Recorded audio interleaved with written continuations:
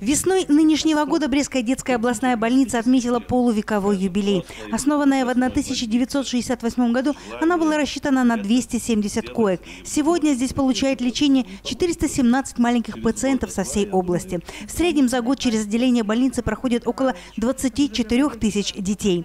Открытие после реконструкции приемного и травматолого-ортопедического отделения, а также современного пищеблока позволят значительно улучшить качество медицинского обслуживания. У нас есть хороший персонал, хорошие умные специалисты, э, полностью укомплектованы штаты. И если мы еще улучшим материально-техническую базу, это все только поможет улучшить здоровье наших детей.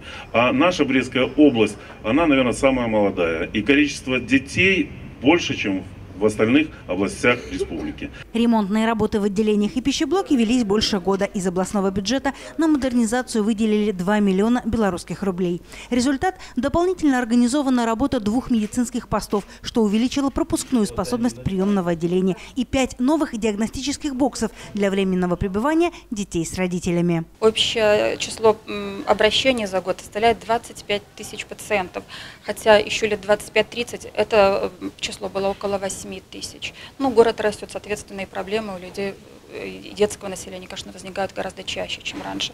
Поэтому мы э, отремонтировали 5 э, диагностических боксов.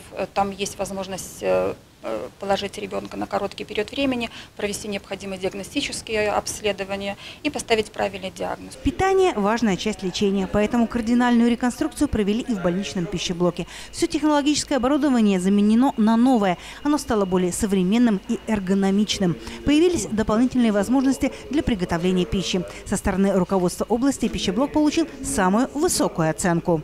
Я его видел до ремонта и Э, вот после ремонта, уже и не первый раз даже, я скажу, конечно, это, ну, как говорит молодежь, это космос.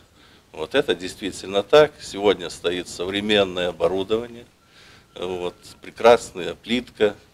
Ну, в общем все условия созданы для того, чтобы в нормальных условиях работать и приготавливать ну, вкусную и безопасную пищу для наших деток. Настоящим сюрпризом не только для маленьких пациентов, но и для родителей стало реконструированное травматолого-ортопедическое отделение. После привычных серо-голубых оттенков больничных палат медики устроили здесь настоящую цветотерапию. Цветовую гамму мы выбирали сами.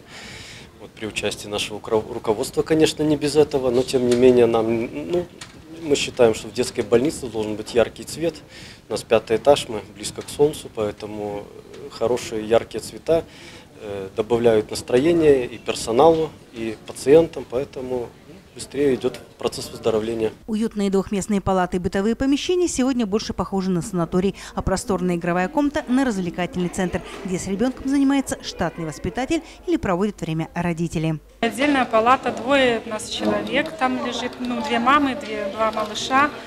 Вот, кормят неплохо, везде так светло, красиво, очень желтый цвет, очень такой яркий, позитивный. Вот, в палатах, ну, тоже все есть. Мы сюда сегодня первый раз, конечно, пришли, потому что до этого, ну, малышка боялась выходить. Вот, здесь нам тоже нравится, здесь занимаются с детками. Вот мы складывали тут игрушечки, и так вот все тут как бы, ну, хватает всего для игры.